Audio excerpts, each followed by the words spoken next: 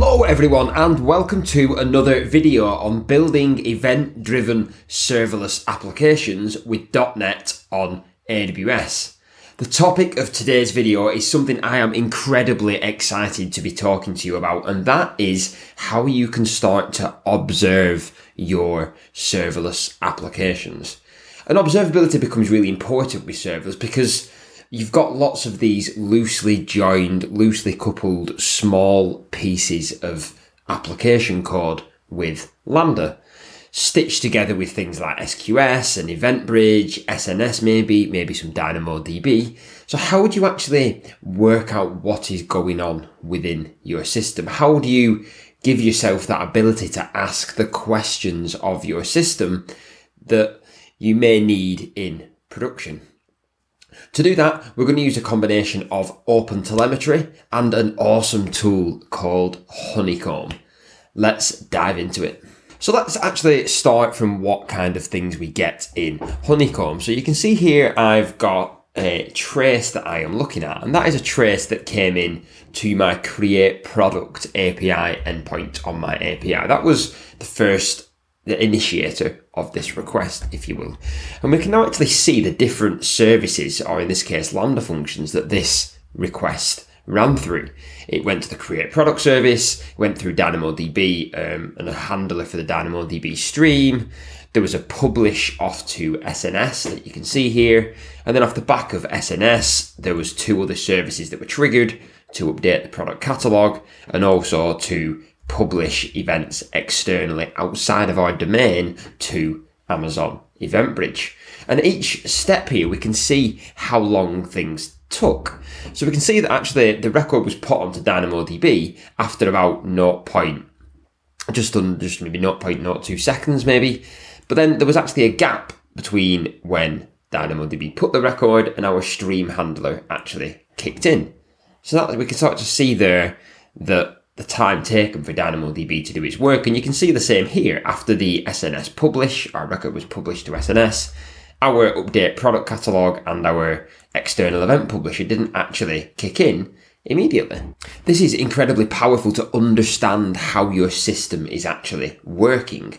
You can just throw a request into your system and then start to dive in what is actually happening behind the scenes. Is it performing as you expected it to? If we come back up a layer in, in, in the Honeycomb UI now, we can actually run queries across all of our traces. So you see I've got a whole bunch of traces going on here for different requests coming into our system. And then we can also start to do some interesting things around visualization. And um, we can start to count the number of requests. So I've not actually made any requests um, recently. We can maybe group this. We can maybe group this by the, let's say, the function name. So we run that query again, and then we get a different line for each function. So we see some different lines down at the bottom here. This, of course, isn't a video about Honeycomb, but I thought I'd show you the kind of things you can get once you start adding tracing to your application. So let's go and look at the code behind this now. If I flick over to JetBrains Rider, um, what I have got, this is all built on top of my event driven with Terraform um, example. All the GitHub links, of course, will be in the, in the, in the description below. So this this product API service is made up of uh, one, two, three, four, five, six, seven different Lambda functions um, for creating products, the actual API endpoints, and then the asynchronous things that happen behind the scenes. And each of these, we want to trace all of these um, functions in the same way. You know, the actual function code itself is you know, much like any other function handler. Um, so what I've actually done is added a um, abstraction layer to actually start the tracing outside of the individual Lambda functions. So if I go off to my shared library now and I have a look at this traced function class, this is an abstract class that allows us to implement tracing for any Lambda function. And the important bit from a configuration perspective is this constructor of our traced function. This is where we can configure um, how OpenTelemetry is going to work within our application. So we set up um, the resource and we add a source to um, OpenTelemetry to tell OpenTelemetry to collect traces for um, any traces with this name, with this service name. We add some auto instrumentation for AWS SDK calls and for pulling information from Lambda. And then we add what's called an exporter in OpenTelemetry. And we're actually going to export directly to Honeycomb. Quick side note, this is not ordinarily what you would do in production. Ordinarily, you would use the OpenTelemetry collector. So your Lambda function would export to the collector, and then you've got a single location to configure the output to whoever your exporter may be, in this case, Honeycomb. And when we enable the Honeycomb exporter, we just pass in the name of our service and also the API key for Honeycomb, which I'm going to pass in as a environment variable of my Lambda function. And then you see, when we actually start to trace our function now, all of the OpenTelemetry implementation in .NET is built on top of the System Diagnostics Activity class. So anything you do with activity sources and contexts and activities, that will then get mapped up to OpenTelemetry, providing you've configured this tracer provider. So you see what I'm doing here is I'm starting a root span. I'm starting a root trace um, as soon as my handler gets executed. Um, I had an whole bunch of different tags to my um, to my span, and then I actually get into executing my handler. And when it actually comes to executing my handler itself, my handler is also passed in as an abstract property, and the function itself um, is configured up here. And this is this is the core of how we configure OpenTelemetry. So we've now got across all of our Lambda functions this single configuration for how to do tracing. And then we start off some general traces around to wrap around each function execution. I've then added some implementations for things like API Gateway, DynamoDB Streams, SQS, just to simplify how to work with things like API gateway. So with this API gateway traced function, for example, I um, dynamically load the trace ID from the header. So if this is an API call that has come from an existing trace, that will be passed in as a header, HTTP header. So I'm just unwrapping that HTTP header, um, adding some default some default tags to my span for things like the HTTP method, what user agent was used, how big was the content, and these are all really useful pieces of data that I can then use to ask questions of my application in the Honeycomb UI.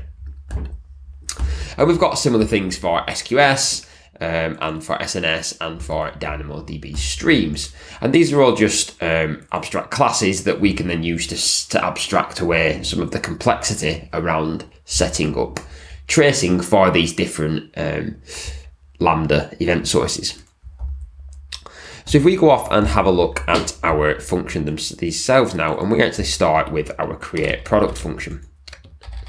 Um, and you see this inherits from the API gateway traced function method.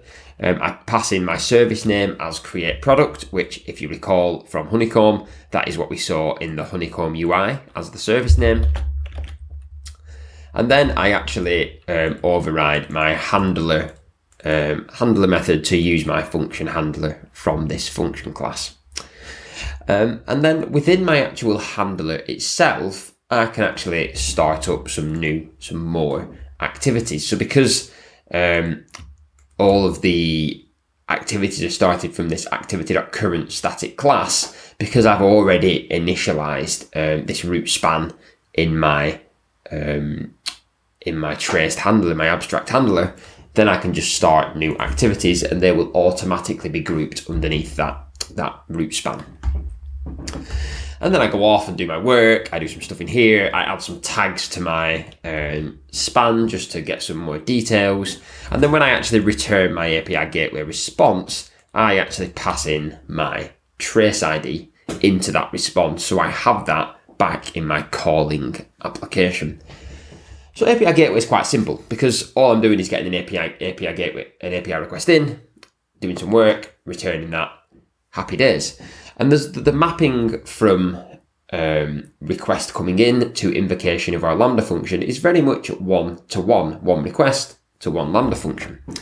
Things get a little bit more interesting when you start to look at services like SQS. So if I go off to my external event publisher now, and this is the this is the function that's going to take in um, my um, updates to my DynamoDB table and publish them out to EventBridge.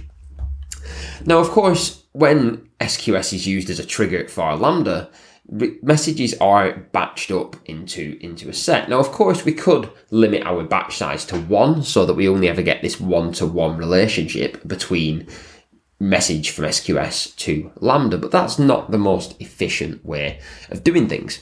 So what I'm doing here is I'm still pulling off a batch of records in one, one go. And what you can actually do in OpenTelemetry with the activity um, classes is actually create your own activity context. And when you create an activity context, you can pass in an existing trace ID and parent span.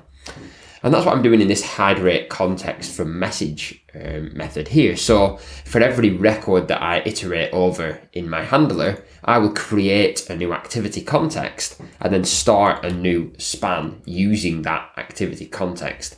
And that's how we can then start to group these spans together across different Lambda functions and through different event driven services.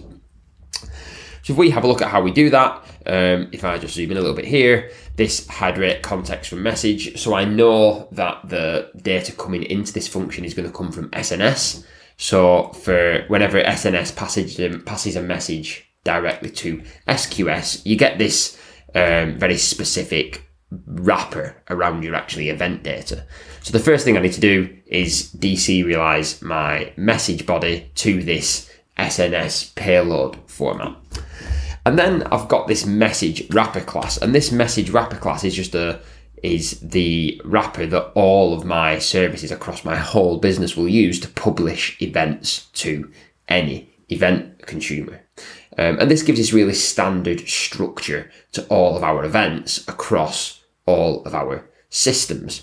And for the cases of simplicity here, I've just got this message metadata object, and within the metadata of my message, I'm including the current trace and the current span. And I can then use that in other places. And then I've got this data property, which is just the actual event payload itself. And of course, that is um, generic. So then I need to deserialize my message wrapper. Um, so I've got my data from SNS. I've now got my message, message wrapper object.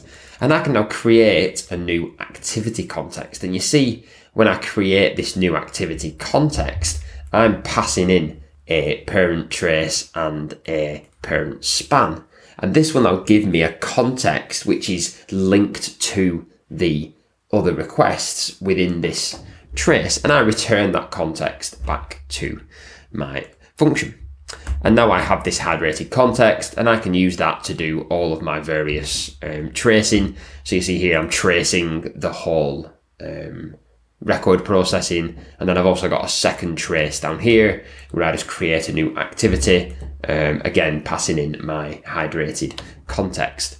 Um, things can get quite confusing between .NET and OpenTelemetry because OpenTelemetry refers to traces and spans and um, .NET returns refers to activity sources and activities. Activity source equals a trace, activity equals a span. So although we're using the word activity here, that does relate to a span in OpenTelemetry.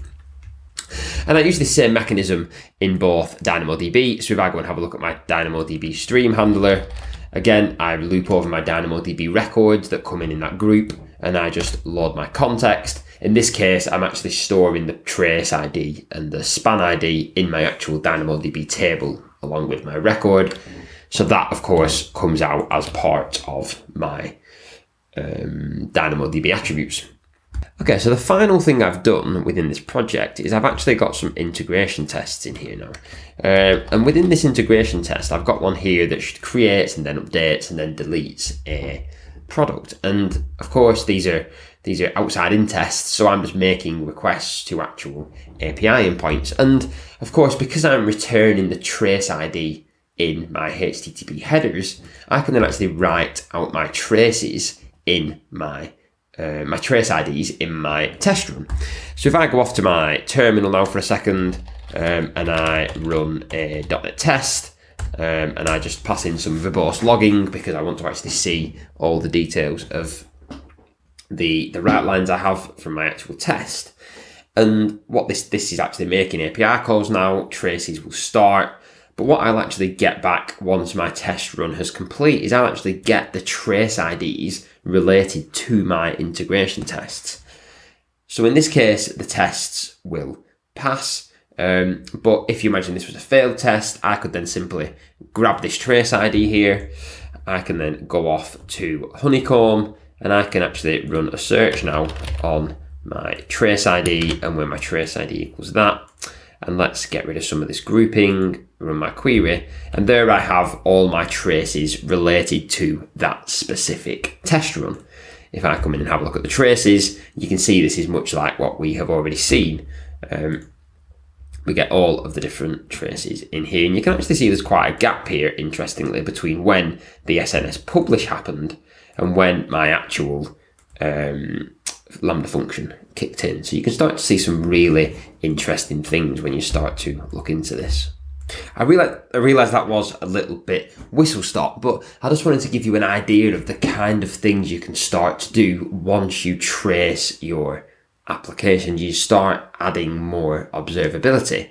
It enables you to start to ask the questions of your system that you didn't even know you needed to ask because you've got this really fine grained information with these really wide attribute sets. You see here on the right hand side, I've got things about the version of .NET I was using, the ARN of my function, you know, all of this really superb information about my system and about how my system is performing. And I can use that to query all manner of different things and that what that's what makes observability so powerful, as well as being almost necessary when you're building serverless applications, because you've got all of these small pieces.